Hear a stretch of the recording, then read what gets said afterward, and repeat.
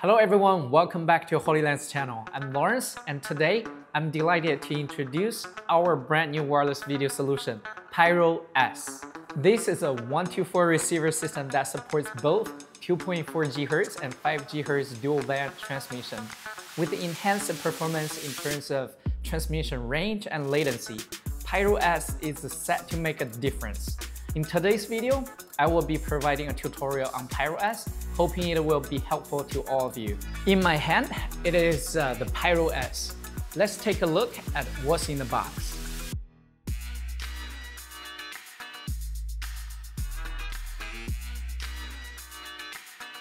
Pyro S is our newly designed hardware product that supports one transmitter and four receivers, meeting a wide range of monitoring needs. It boasts exceptional transmission performance with a distance coverage of up to 1,300 feet, 400 meters, and a low latency of only 50 milliseconds.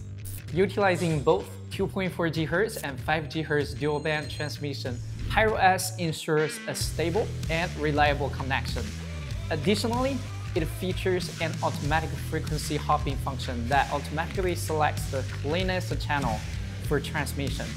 Pyro S offers multiple power supply options, providing you with the freedom to choose the most suitable one. It supports UVC streaming and RTMP streaming, enabling convenient and efficient broadcasting and monitoring. Furthermore, it is equipped with HDMI and SDI dual interfaces, providing enhanced compatibility with various devices. With up to 4K 30 frames per second transmission compatibility, Pyro S presents images with superior clarity and details, making it competent for professional applications such as filmmaking. To use one transmitter with four receivers, you need to enable the broadcast mode on Pyro S. Go to the menu of the transmitter and select the broadcast mode to achieve one transmitter with four receivers.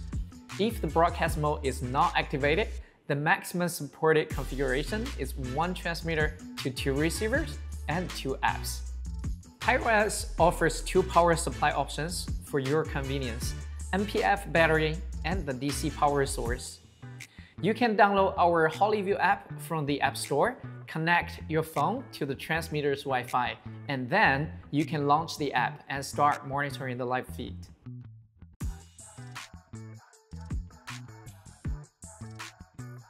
Pyro S has a pre-grouping function that allows for automatic pairing when the devices are powered on.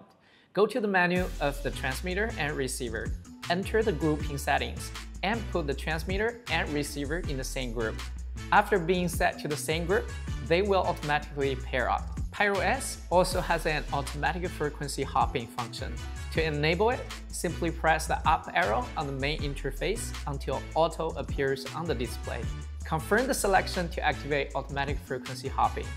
The system will then automatically select the best channel and you can enjoy an uninterrupted shooting experience. Pyro S also supports RTMP function. Prepare a network card and connect it to Pyro S's transmitter using the USB-C OTG adapter. Then connect to the latest version of the HollyView app and enter the streaming URL to start live streaming. That's all for today's video. Thank you for watching. I will see you in the next one.